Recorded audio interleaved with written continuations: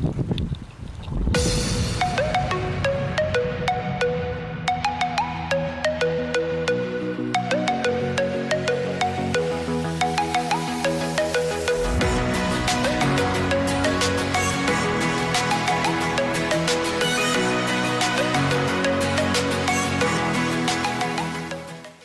a tutti e benvenuti nel quarto video della seconda stagione del canale. Io sono Nicolò e questo qua è Ivan il regista.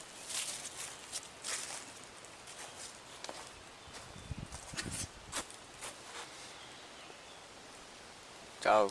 Questo video sarà un po' particolare perché sarà incentrato del tutto sulla sistematica di una specie, l'Abax parallelepipedus, da quando è stata scoperta fino ai giorni nostri. L'Abax parallelepipedus è uno dei carabidi che hanno avuto un maggiore successo evolutivo.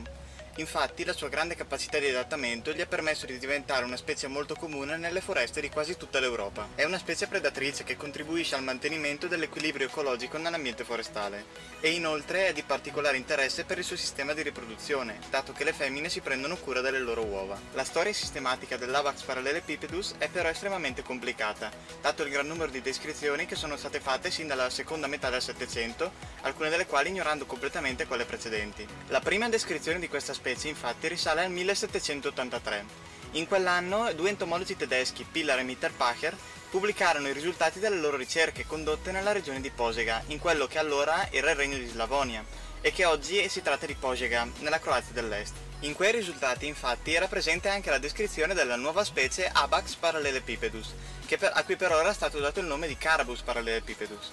Grazie alla descrizione dell'ambiente del ritrovamento è possibile capire che l'olotipo della nuova specie è stato catturato da Piller e Mitterpacher nelle montagne a sud del villaggio di Kamenska. E fin qui va tutto bene. Le cose però iniziarono a complicarsi quando la stessa specie venne ridescritta nuovamente da Vie nel 1789 con il nome di Carabus ater, in base ad alcuni reperti provenienti dal sud della Francia. Questa seconda descrizione ebbe una diffusione molto più ampia della prima tra gli entomologi europei, tanto che il nome Abax ater eh, rimase in uso fino alla fine del Novecento, mentre la descrizione dei poveri Piller e Mitterpacher venne dimenticata. Forse anche perché, diciamocelo francamente, ater è molto più facile da dire di parallelepipedus. Ora però devo aprire una piccola parentesi. Nel 1810 entrarono in gioco anche gli italiani, in particolare Franco Andrea Bonelli introdusse il genere Abax, nel quale venne inserita la specie descritta da Villiers Carabus ater, che divenne Abax ater. Però Bonelli non fissò la specie tipo del genere Abax. Inoltre, per complicarci ulteriormente le cose, dato che non ci dobbiamo far mancare niente, nel 1828 il nome Abax parallelepipedus venne utilizzato da Dejean per descrivere una nuova specie, in più del genere Abax, eh, costruendo così un ulteriore ostacolo per il ristabilimento della corretta priorità nomenclatoriale, in quanto i poveri Piller e Mitterpacher, avendolo descritto per primi, avevano la priorità sulla scelta del nome da attribuire alla specie Abax parallelepipedus. Nel 1838 ci si misero anche gli inglesi con Westwood, che designò come specie tipo del genere Abax la specie Carabus triola descritta da Fabricius, che in realtà però non era altro che un, eh, un sinonimo della specie Abax parallelepipedus descritta da Piller e Mitterpacher 55 anni prima.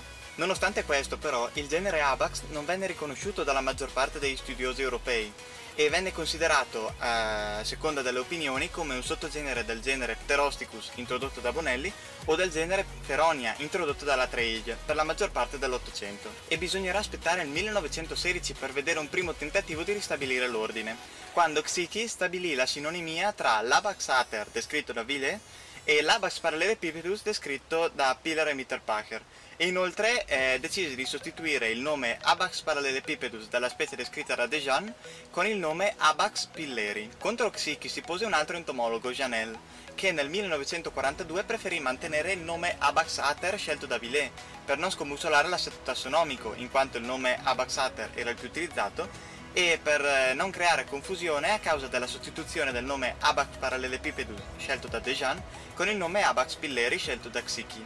Per questo motivo anche il tentativo di Xiki di ristabilire l'ordine dovette aspettare molto tempo per essere riconosciuto. Ciò avvenne soltanto recentemente, nel 2003, quando Bousquet accettò formalmente la revisione nomenclatoriale proposta da Xiki. E con questo abbiamo finalmente finito. Dalla descrizione originale di Tiller e Mitterpacher alla citazione delle proposte di Xiki da parte di Bousquet sono passati la bellezza di 220 anni, il tutto per tornare al punto di partenza. E ora a me non resta che chiudere il video qui, anche se ho volutamente tralasciato la storia della nomenclatura delle numerose sottospecie di Abax parallelepipedus, che altrimenti sto qui un'altra mezz'ora. Quindi vi saluto, vi invito a mettere un mi piace al video ed iscrivervi al mio canale, e noi ci vediamo in un prossimo video. Ciao a tutti!